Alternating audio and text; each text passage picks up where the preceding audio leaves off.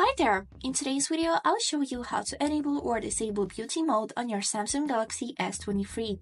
Let's get started. So as a first step, let me show you what is a beauty mode. I have perfect example for this.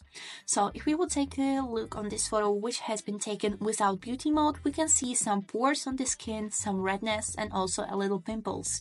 And now let's take a look on second photo with beauty mode turned on. If we will take a look on the skin, it's smooth, without redness and pimples. So this is how the beauty mode works and now let me show you how to enable it. For that we would need to open the camera and also switch to the selfie camera. Then click on this button that you can see at the upper right corner and choose smoothness.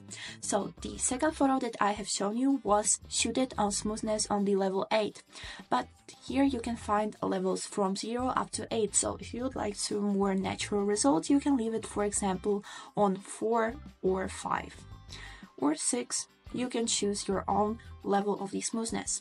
And to disable this function, simply leave the level on the zero and it will be disabled. And this is it. I hope this video helps and thanks for watching.